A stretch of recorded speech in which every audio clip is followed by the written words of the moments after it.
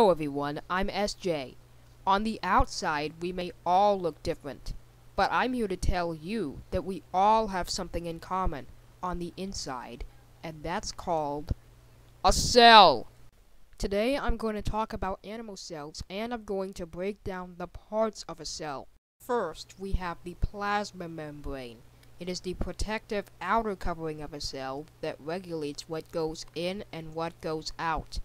In this cell diagram, the plasma membrane is gray.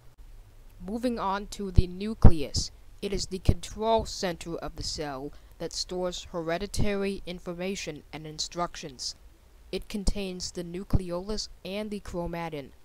In this cell diagram, I colored the nucleus purple. Then we have the ribosomes, which are the protein builders of the cell. In this cell diagram, I colored the ribosomes blue. Next are the lysosomes, which break down food particles and worn out cell parts. In this diagram, I colored the lysosomes gray. Moving on to the Golgi apparatus, which produces, sorts, packages, and transports material around the cell. In this diagram, I colored it green.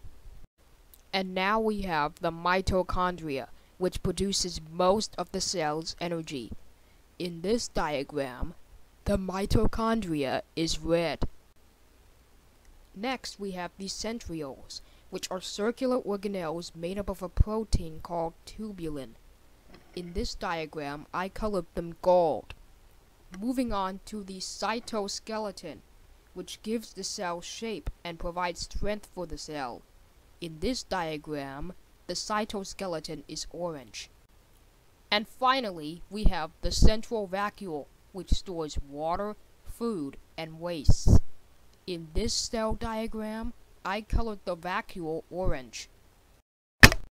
And these are all the parts of a cell.